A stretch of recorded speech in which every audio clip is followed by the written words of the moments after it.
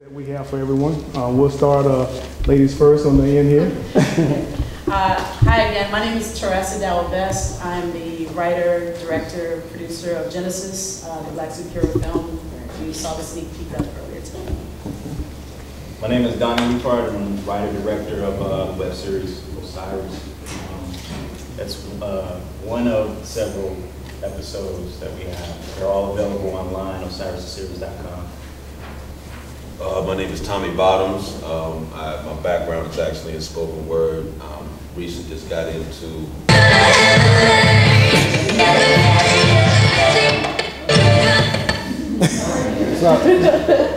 into lip sync. You said spoken word, Uh, you- yeah, my background, my background is actually in spoken word as far as uh, my artistic background. I got involved with the project by a good, with a good friend of mine, Malik Salam, who is the writer director of Eternal. Uh, this is I'm probably probably the newest person in filmmaking in this, but uh, happy to be here. Hi, my name is Bree Newsom. I'm the writer and director of uh, Wake. And just to plug real quick, I brought some posters and DVDs if anybody's interested. Let's go ahead. Hi, I'm Steve Barnes, and I didn't have anything to do with any of the films that you just saw. uh, I'm a television writer of Twilight Zone, Outer Limits, Andromeda. I've written uh, novels for Star Trek and Star Wars and a bunch of other science fiction novels and mystery novels and stuff like that. So for some odd reason, they thought that it would be useful to have me here. So we'll, we'll see if they were right. All right, we're going to get right into questions. Um, This one, uh, whoever wants to jump in, we really would like to hear from all of you on this one. What makes a work of visual or literary art black science fiction, fantasy, or horror? Does the hero have to be black, the main characters, the director or writer, or is it a combination of those elements? I, I personally would say a combination of both. Um, I think you, as a, as black people, we should be able to write stories and tell stories that, that necessarily are quote unquote black stories. But it's also good to incorporate the main characters and the, the heroes as, uh, as the black characters or the, you know, as, uh, showing our, uh, perspective and our point of view and, uh, our culture and our background and things like that in the storylines to a mainstream audience that might necessarily be a black audience. Anybody should be able to enjoy any of these stories, regardless of your race or your background. Would anyone else like to jump in? Yeah, I thi- I, I think we're, we're seeing a trend right now, as a matter of fact, where um, people uh, are embracing a more diverse telling of stories. I think, um, maybe not specifically science fiction, but Shonda Rhimes is a prime example of an African-American writer, producer, who's creating a body of work that transcends race. And um, truth be told, that's the work I strive to do. I would like um, to serve the people that groomed and made me, um, certainly. Um, but at the same time, uh, I, I would like to believe that my work is diverse enough for a broad audience to enjoy. Of course, I think that's the, that's the ambition of all of us sitting up here. Um, but to define it as black uh, today, um, I think is a celebration, certainly, but at the same time could be viewed as limiting. Um, if that's your goal, is to satisfy a certain demographic and that demographic only. I don't think we live in a time now where that's as viable as, say, the 70s during the blaxploitation era, where that was pretty much how they made their money and their notoriety. Uh, that's a valid point, um, but I, I actually embrace the whole black science fiction thing or the black title because uh, for so many years, just like in um, uh, your short, I was the kid reading the comic books and saying, where are the characters that look like me? And so that started me writing and writing stories. And um, so I know there's so many black nerds out there, you know what I mean, who just don't get represented. You see Comic Con, you see all the, you know, fa- different colored faces. You know what I mean? But I feel like, um, to go back to the original question, I think um, I think it, it has to be, because there's so many black filmmakers, black writers who don't tell the type of stories that they go support. Like you look at the top 20 grossing movies of all time, they're all like sci-fi or fantasy for the most part. And that's just not a Caucasian audience, that's every kind of audience. So it's, so I ask the question often, if black people go see these movies, then how come we don't see more black filmmakers making these types of movies, writing these types of books and, and movies, etc. So where are they? Why aren't they? They support it, but they don't do it themselves. And so I feel like it, it, it should be classified as black. I think it should be more than just sprinkling a few black characters in a movie. I think a black filmmaker should put his voice out there and his, his perspective of the superhero movie, his or her perspective of the superhero movie or, or, or whatever, um, science fiction thriller or, you know, true blood type of storyline, you know what I mean? So, and you put a new spin on it. So. Yes. The, uh, my esteemed panelists have dealt very, very well with one half of what the question was, which is the question of what makes it black science fiction, fantasy, or horror. But the question of the definition of what science fiction, fantasy, and horror is hasn't, you know, hasn't been covered. I thought it might be useful to touch directly on that since most of my background is as a science fiction writer, and I've had a lot of opportunity to sit in a room with some of the biggest people in the field talking about just exactly what is this stuff. Um, to go kind of broadly, all fiction is fantasy because it didn't happen that way. But fa fantasy, the way we usually define fantasy, is a what if proposition that utilizes magic of some kind to, to control the world and to knot the world together. So let's say vampires in, in, a, in a fantasy novel will exist simply because somebody says they're, you know, they rose from the dead and if you drive a stake through the heart, you kill them, and you show them a cross, so. So that's all fantasy. There's absolutely nothing about the, the universe as we understand it that relates to this. On the other hand, you can do vampire-type stories in movies like, well, the original novel, I Am Legend, that was turned into uh, the Omega Man, and then Will Smith's movie, I Am Legend, where it's this kind of a vampire situation, but it's a disease. So they're kind of trying to relate it to biology, the way we understand it. So you could say that science fiction is a subset of fantasy that has to obey the laws of, of science and the phenomenological universe and physics as we understand it, but you, they might let you break one rule. They might say, okay, we'll let you have time travel. If, if, time travel exists, what might happen? We'll give you faster than light travel. You don't know, you don't have to explain it. But now tell us a story you know, tell us a story that can only take place in a universe in which this is true. And all the other rules have to be consistent with the rules of science as we understand it. So that game of, of what if, it's like the, the three basic questions of science fiction are considered to be what if, if only, and if this goes on. Okay, now horror is a different thing than that. Horror, it just talks about a type of story that is designed to create the dominant emotion of fear. So you can have science fiction horror, fantasy horror, psychological horror, any kind of thing, because what you're trying to generate is dread in the audience. Alien is science fiction horror. You know, Night of the Living Dead is fantasy horror, kind of, sort of. Okay, and Silence of the Lambs is psychological horror. So I just wanted to kind of lay down some definitions there. My, my partner faded off into the, uh, all right. Um, how and why are black people negatively portrayed in the media? How do these images affect society? because we don't just want, you know, we know that we're portrayed, but how and, and, and why are we portrayed negatively? You had to go there, didn't you? Anyone? Y'all got to talk. I'm gonna make a nuisance of myself. I think, I think we're all trying to figure out how far back in history we should go. That's what we're all trying to figure out. Like, I was thinking, I was like, 20th century, uh, back 17, like, where do I start with that? If we were starting right now, I would say it was because we wanted, we, we choose to be portrayed that way and we embrace it. I think if we were talking 50, 60, 70 years ago, um, it's something different. Um, so I don't know if you can say broadly, this is what it is, but right now, I think for whatever reason, as a culture, we've come to embrace these things as entertainment. And we're the ones who are the ones who, a lot of times, the ones putting out the negative images or the limited images of, of what we can be or, or how we can be portrayed. So I don't know if we can necessarily say we're talking right now, you know. Another time, even like the blaxploitation film, I think, I think in, you know, there was, there was a lot of backlash during that time at, from certain, certain black groups that those were negative, but they were trying, if you look at the, uh, like the Mack and, um, what was the other one? Um, Shaft, Superfly. Superfly. Even though they were drug dealers and pimps, it was always this kind of social conscious message behind it. It they were always this us against the man. They always won at the end. There was a positive image to it, even though a lot of people might have said, well, oh, you're just paying, you're just portraying as drug dealers and pimps. But there was always this social consciousness along with it too.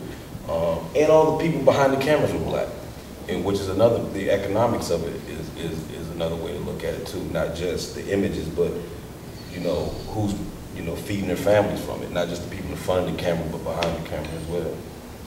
I think, I think, I think what we're fighting against is stereotypes. You know, there's just certain social, ste- it's, not like the media exists separate from society. You know what I mean? So it's like there's certain stereotypes that still exist about the black community, and we get those. per- eh, You know, a lot of times I think what we run into as, as black filmmakers and anything dealing with blacks in media is when you put out something that contradicts those stereotypes, people question whether or not this is true. Like I hear that a lot. Like for instance, when the Cosby Show came out, well, that's not really how black people are. You know what I mean? So I think that's that's part of what we're fighting. I don't even know that it's necessarily. I don't think people sit around and say, well, how do we negatively portray black people, well, as they certainly did at one point. But, I mean, there was definitely a conscious effort at one point. But I, but I think some of it is just combating uh, certain stereotypes. You know, I don't think that there was a- an attempt to portray black people negatively. I think that's how they actually felt. I think they thought they were actually portraying us the way we are, actually giving That's good true, portrayals. I mean, you know, with Gone with the Wind, they thought they were giving Butterfly McQueen and so forth an excellent role. They didn't understand what, what was going on with that. I mean, when you ask why one group portrays another group negatively, you know, all I can ask, have you ever watched the way Hong Kong kung fu movies portray Japanese? I mean, it's like, you know, really, I mean, the, the idea of, of, any, of any group A portraying group B as being their equal is absurd. The, the, the, the dominating mythology of every group of human beings in the world, with the possible exception of black Americans, is God made us first and loves us best. And, I mean, you can't expect people to do anything other than. That's how they roll. That's how everybody does as human beings. There's nothing easier than getting any group of people defined culturally to sit around and talk about how they're superior to whatever they're, they're defined in, in, in opposition to. So the, the, the reason why this has happened is that tendency, plus a huge amount of guilt and fear related to slavery and Reconstruction and, and you know so forth. They're waiting, in other words, when are they? When are we gonna? When are we gonna get get even? In essence, I mean, there there really is a lot of fear around that because they know that if the positions were reversed, they'd want to kill us. Okay, they would. White people in the audience, come on, be honest, right? Right? You want to kill us, right? so the, the answer to all this is, is a couple of things. First of all, just more representation at the executive level and, you know, sitting in on the meetings and, and, and making comments and so forth. And waiting for the old gener- older generation to die off, quite frankly. I mean, time is going to take care of it. I mean, the fact is, that's one of the reasons I keep myself healthy, because I'm just waiting for more of them to die. Well, I think, I think, um, I don't know, I, you know, I- I'm, I'm, I'm a person who is in, the, um, with the, uh, let's blame media, let's blame the white man, let's blame whatever, because like Tommy said, I think a lot of people are, you know, it's, it's all about green. I mean, at the end of the day, and, and like whenever I want to give myself a migraine headache, I just go to World Star Hip Hop, and, uh, but, but you know, you laugh, but that's, that stuff is, that stuff is reality. Like, for the most part, it's either real, like somebody had a camera phone or whatever, they captured something that happened in reality, or it was a music video that, you know, some guy with a uh, Canon 7D made, you know, in a marijuana smoke-filled, you know, dark room in their house while they, you know, they're on uh, house arrest. So, so like, you know, and so, and you look at those videos and they have hundreds of thousands, if not millions of views. But then you go to something that's more, you know, positive or uplifting or whatever, and it's got, you know, measly 400 views, if that. And so it's like, the, executives look at those numbers, just, it's not a, you know, something they're manipulating. They look at those numbers and say, hey, this is what people want, apparently. You know what I mean? So it's, it's, it's, it's a question of is art imitating life, is life imitating art, or what's going on there? And as content creators, we have to look at that sometimes and say, well, okay, do we give the people what they want or what they claim they want or what they, or at least what they show that they want with their wallet? You know what I mean? Or do we just keep, you know, doing our thing? Um, So I struggle with that question in that, the whole stereotypes things, thing, because in all honesty, some of the quote stereotypes you see in movies, there are people like that in my family. You know, I go back home in Detroit right now and see, you know, some people portraying in real life stereotypes. Um, I talk to a lot of black women who love that show Scandal. And I say, you know, Olivia Pope. Why you look over here? I, I, you know, I say, I say Olivia Pope is fictitious, but that woman, you know, screaming on the bus in that video on YouTube, she's real. You know what I mean? So it's, it's a, it's a constant struggle. Well, I would challenge it though, because Olivia Pope's not fictitious, you know, she's based on actual. Well, I mean, just the series itself. Oh, It's okay, not a yeah. documentary or something. Oh, okay, yeah, yeah, yeah. I, you know, right now with, with television in particular, I mean, we're seeing this trend of um, little to no representation on television again, which is concerning to me, especially uh, just three nights ago. I remember um, watching, I don't know, I was kind of flipping through something and I was thinking to myself, what happened to the time where at one point we had Cosby, Different World, um, Sing- Living Single? I mean, it was like at one point we had this, this menu of representation and then suddenly all our hopes and dreams rest on the shoulder of Olivia Pope right now. Um, and for better or for worse, there's a lot of, there's a lot of dialogue about this black woman, this black character, as an adulteress, um, barking at, you know, and at the same time, it's, well, if she'd been portrayed by um, a, a white actress, will we be still having the same conversation? I mean, if you look at a show like Damages, and you have someone like Glenn Close, who's portraying, you know, a, a, a damaged person herself, but no one, you know, said a word about that. And I think a lot of times, um, right now, what we're seeing is that we're not we're not putting our viewership, like you said, behind the quality. We're putting our viewership on um, user content, user-friendly based content like YouTube and um, I don't even know what's the name of it, World Star, somebody. I try to avoid it as best I can because the few things I've seen on it, I'm just like, wow. You know, I, I know I've been known to quote Sweet Sweet Brown myself. but I happened to see today, as a matter of fact, she um, she's a spokesperson for a local dentistry. Um, there's a dentist office that's using her as their spokesperson with gold fronts, and I just thought, wow. And then they showed the picture of the two dentists, and it's a white man and a white woman, and I, you know, it's just it's just damaging and hurtful. Um, we go through these waves of fight, struggle, complacency. Fight, struggle, complacency, I think. And right now, I think we're in an era of complacency. I think we're accepting whatever that's presented to us in, in general. And the one or two things that are tossed our way, we either jump on it and embrace it or jump on it and criticize it, and there's no place in between. And I think we're seeing a lot of that right now. And then you have folks that are sitting here that are just like, you know what, I'm bucking the system, I'm putting it up myself, and that's what I'm just gonna do. And I think that's where true art and true storytelling rest now anywhere. I don't think we can look to the same places as commercial television and film um, for the answers or the images, quite frankly. Um, However, I had some really strong things to discuss about Django, but I guess we'll get to that later. It's funny you mentioned that. I was trying to make a question about it. I'd like to make one comment about, about um, Scandal. Sure. You know, th- one way I'd like to give it props, and that is that they mentioned this at the Image Awards. It's been 40 years since there was a dramatic series starring a non-white, well, starring a black woman specifically. And in the history of network television, there have only been about four successful dramatic hour-long series with non-white stars. So every time you see one of those, tons of comedies, almost no dramas. So I'm really pulling for that show oh, to make it. It may be, you know, scandalous and But this, is where we're funny though. Here's where we're funny. We'll get behind Scandal. I love Scandal. I'm, I'm sitting here looking at my watch, come on. But folks are not willing to get behind deception the same way.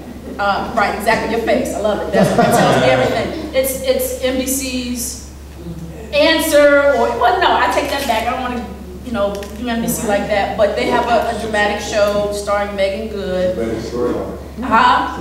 With a better storyline, um, just, uh, that's debatable. Um, But you know, what I'm saying is, is that I've actually seen people in social networking, uh, and, and, and Facebook and Twitter and different things, actually discuss why they would get behind Scandal with such a character as Olivia Pope as she is, and not get behind the FBI agent or the police agent that is depicted in, in, uh, Deception. And well, you know, Scandal was, it was first. And Scandal was, you know, and it's this idea that you can't support both, that you have to pick a camp. You're sitting here like doing an amen quote over. Okay, I mean, if you don't mind me kind of tossing it to them, I mean, what's, Yeah, we what's your got- take on it? We want to go ahead and get a question from then we'll get it out. Okay, my bad, then, all right. Well, I mean, that's the thing, though, we're, you know, we have these, these opportunities to support solid shows, but then we, we also kind of pick them apart and pick and choose and become, um, have this divisive sort of thing about ourselves that won't allow us to embrace those sorts of shows right now. I'm kind of conflicted on the whole black industry because I, I would use, there was a time when I would be uh, like really super sensitive about every kind of portrayal that there was of black people anywhere. And then when I started thinking about it uh, recently, I realized like I kind of long for the day when one black image doesn't have to be the representation of all black people. You know, because that's like when you really reach freedom. Like if you think about it, like we don't sit around and discuss white characters. We don't discuss how a white character in a film represents all white people. That's not even an issue. You know, it's just it's just not even something that that comes up, and that's just the difference between white privilege and what we Right. what, what we deal with. So it's, it's kind of like, on the one hand, I am really sensitive about the way that black people are portrayed, but on the other hand, I really long for a day where a black character doesn't have to be perfect, that they can have flaws, you know, like, like that Olivia Pope can be this three-dimensional, flawed human being, and it doesn't have to reflect negatively on me as a black woman, I guess, you know? Okay, we have, um, next question kind of um, segues into the Django statement that you made earlier. Okay, Django Unchained has created a stir in the movie industry. Um, what effect do you think it will have on our, on the future of black film, if any at all? I, uh, go ahead, I've heard a lot of criticism, and I, and, and I don't know what, I guess the main thing of what I used to hear is, uh, know, Tarantino didn't have a right to tell this story, or he's not the person to tell this story. Um, I don't, I, I think he's a, he's a creative person, he's a writer, um, and I feel as people who create content, um, if you think you can tell the story better, then, then just tell the story. You don't tell this man he can't do what he does. Um, a lot of people were offended by the language. I don't, I don't see how you can be offended by the word, uh, I guess, the word nigger. if, if, you, if, if, it, if it has this hold on us 200 years later, then why not portray it from when the, the, the time period it came out? You can't say N-word during the slavery times. it would not make sense, you know what I mean?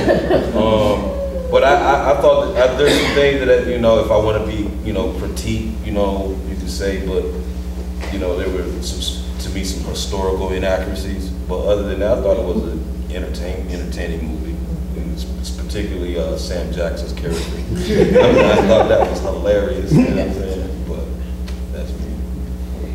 I loved it.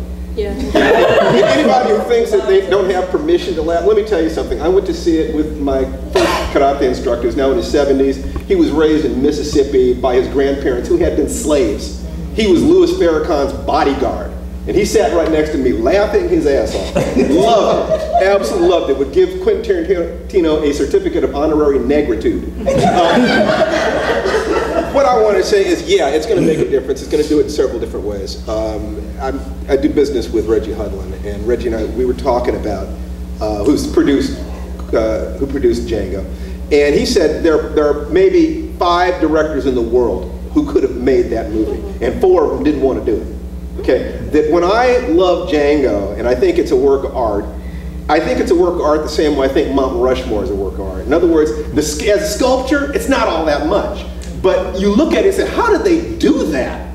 How did they get that thing made? When you look at something like Django, you have a movie that cost $100 million that is now making like 300 million, you know, heading toward 400 million dollars worldwide um, because Quentin Tarantino is out of his mind. He's crazy. I mean, the guy, the guy is nuts. You can take a look at his other films. I knew that as soon as I saw Pulp Fiction. And there's that scene with Ving Rhames and the hillbilly that I was out there with our children in the room, and I'm laughing. And I'm saying, how did this guy do this? How did he make me laugh at that scene? I don't know how he does that. But the one thing I do know is he grew up around black people and knows black people. And if you're black and you grew up around white people or Mexicans or Asians, you can write about them. You can write about anything that you know that you've been around. He has the right to an opinion, and we have the right to dislike it.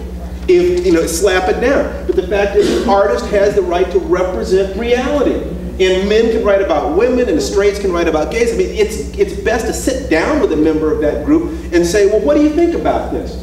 And to his credit, Tarantino did. You know, whether it's with Reggie Hudlin or Jamie Foxx or Kerry Washington or Sam Jackson, these things happen. That is, it is the job of an artist to represent reality from their, from their point of view. So can the movie be criticized? Oh, absolutely. I mean, I could give you chapter and verse on all the flaws and things could be done better and so forth. But it's a minor miracle that the thing got made. And it's going to make a difference because he made, he, he gave jobs to a lot of people. He has he's raised the worldwide profile of Kerry Washington and Jamie Foxx. He's proven that movies with black stars, even though it's a Quentin Tarantino film, can make that kind of money overseas, and that's the only thing that people in Hollywood care about. Can I crunch the numbers and show where the dollar is? Okay? He has also created images that have not existed. No major studio has done a black western kind of thing. You know, they're, they're not very much of that's been done since Buck and the Preacher or something. You know, something like that. Okay, and and one thing that is is is critical to, to, to remember about that. When was the last time you saw a slave in a movie? Let me I'm asking the room. When was the last time you saw a slave in a movie? Amistad? There were no slaves in Amistad. They were free Africans that's who'd been captured, and the entire movie was about whether or not they were slaves. Come on, try again. The last time? Beloved did not have slaves in it. It had ex-slaves in it. When was the last time you saw the thing itself depicted on Roots was a television show. It was not a movie. Go-. It's, happened since then. You know, I mean, I, I literally don't know, but 10 years, 20, 30? I mean, it is, it is the third rail of cinema. And he went there, and he went directly there, and he made people laugh, and he made people think, and that de-inhibits the, the, the poison that's in there. So other filmmakers will be able to also present mm-hmm. images now. So I, you know, I, all I, I like, I want, I can't wait to shake his hand. And he did a good thing. It's not per, not a perfect thing. I understand why some people wouldn't like it, but I think it was a good thing and a brave thing. I thought the movie was amazing, quite frankly. The only other movie that, that gave me the feeling I had while watching Django was Rosewood. Yes. Yeah. It was that feeling of, okay, I, you know what, This- it is what it is.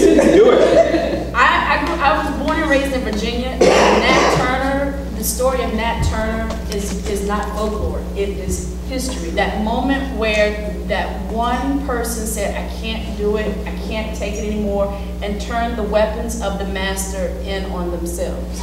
Or that, that moment where you feel like the oppressed is having their moment, having their revenge, or having their victory, or having, you know, they're, they're winning in some way. And it doesn't have to be historically accurate as much as soul or spiritually serving. Yes. That's how I feel. Yeah. Oh, I feel, I feel, I, I kind of feel bad right now.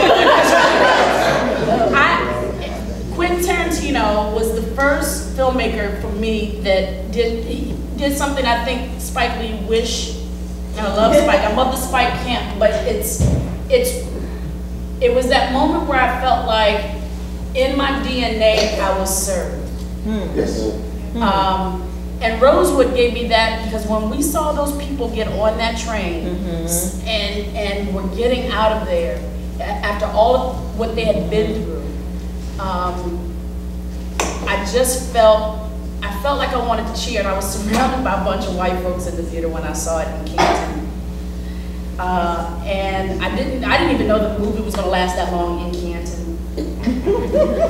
And um, I was nervous at first because I sat there going, I can't celebrate. I can't be okay with him whipping the slave master with his own whip.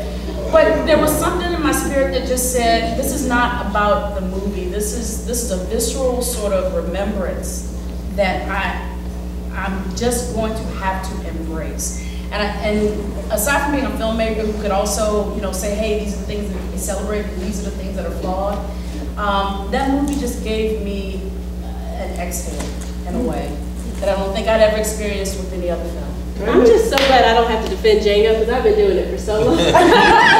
I've been having so many arguments with filmmakers about this film. I was so glad that y'all just were on the same page, so I didn't even have to say that again because I feel the exact exact same way. And I felt, I'm the only I felt like, one. in, in my debates with other filmmakers, I really felt like the sticking point always came back to the fact that the director was Quentin Tarantino. That it was a white man who directed the film more than, we always ended up really just debating that and not any content in the film. And I personally have a problem with that because I feel like if you say that any director, to say that he can't direct something because of, of his race means that I can't direct That's something because of my race or my gender, and I just refuse to accept that. I have a piece of information, and I don't know whether this is public, because sometimes you hear something someplace, you don't know whether or not it was in the media, but just in case this isn't widely known, there's a specific, it's a thing about Kerry Washington in Django. And the question was, we know that Quentin Tarantino makes kick-butt female characters. Mm-hmm. So why wasn't Broomhilda a kick-butt female character?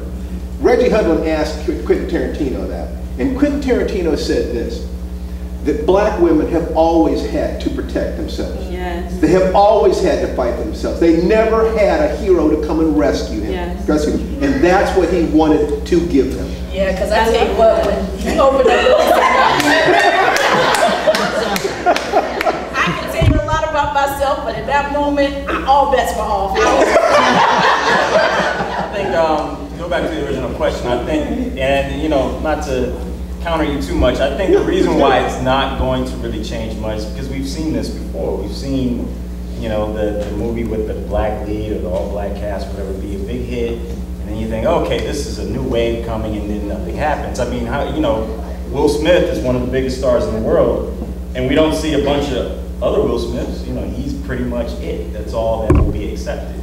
Um, so I think I think while this the wave, the euphoria, as we see here on the panel, is still like fresh with people like, oh, this movie, and then the Academy Awards will kind of bump that up maybe a little bit more. But eventually it will pass. Tarantino will move on to another type of movie. He won't be making all black films from here on out. And like you said, it took somebody of his stature to make this movie. It, it was a rare movie, as you said. It was a rare thing that this happened. So that's why I don't think it. We're, we're It's not going to make a gigantic change. You're 100% right. But it is, it's like Barack Obama did not create the wave, he rode the wave, okay? Quentin Tarantino, what you're seeing is a whole bunch of different things happening. It's not that this one thing is going to click and suddenly we're all going to be holding hands singing We Are the World. That ain't going to happen. But you, what you are going to see is like the blaxploitation movies, the first few of them were pretty good. Cotton Comes to Harlem and Shaft and Superfly. And then they, they got crap, and the crap movies drove out the good ones, just like counterfeit money drives out, drives out good movies. But even though those black stars did not keep going, there were black people who worked behind the camera and got experience in writing, and, the, and those stars did small roles in other movies, and they set the ground for the next generation. We're no more than one generation away from, from uh, the, the kind of change. I've lived long enough to have seen so much change in that sense that I can see the, the points. I can see a whole bunch of different things that are happening. If you want to change, you guys are the ones that are in the position to make that change. The hope that you're looking for is right here. It's not Tarantino or somebody else. It's you guys or nobody at all. I But think that's does a great. dictate also in terms of creativity? I mean, the fact that we have the internet, we have the tools for which to promote our movies with social media. I mean, does that not contribute even to our viewing habits, quite frankly? Because I think a lot of people say, saying that we were moving away from movies, I mean, from TV stations or, or shows because we didn't see what we want to see. So now we're going online and looking at some of these things. I think, I think. Excuse me a moment, oh, before you, sorry. before you answer, I'm so sorry, but um, we're, we're going to have to wrap up. Oh, So yeah. we're over time. So how about I give everyone one last chance to answer and then a big round of applause for everyone, and maybe we can continue the conversations out in the hallway. I hate to shut it down, but you guys, you guys shut down the joint, congratulations. So I'm sorry, if you'd like to, if everyone would like to take a, a shot at the one last question? Well, I, I was just gonna say, just to really kind of put those two points you made as far as, um, there, for, for, for that, for that, for Hollywood or for corporations to make that change, like you said, everything is a bottom dollar. But now that people have the opportunity to see, this particular generation has an opportunity to, to, to see, uh, content that doesn't have to go through Hollywood anymore, you have the right to choose, because you have this thing I heard about called the internet that allows you to really, you can really pick and choose what you really want to see. There's no excuse anymore. And, and Django's effect might not be seen in a year or two, but you will see these changes over a generation. And I think that sometimes we want to see immediate changes, immediate, we, we have to start thinking in 20 and 25 years down the line what it'll look like. And you, and like you said, we're a generation away from that because you can only have so much um, negativity or poison that people will consume, and eventually they will reject it and they'll look for something else. Um, you saw small bits of that when the, when you had the hood movies, when everybody was kind of rejecting the hood movies. Then you have the opposite extreme of things like Best Men, where all everybody was a doctor, they worked out in the gym, and you know it was just the complete opposite because people started rejecting the the typical straight video hood movie. You know what I'm saying? So in a generation, we'll see a change. Speaking of the internet, I want to remind everyone State of Black Science Fiction on Facebook, and perhaps that would be another good place to continue these conversations. I'm going to stop it right now. Thank you all very much for being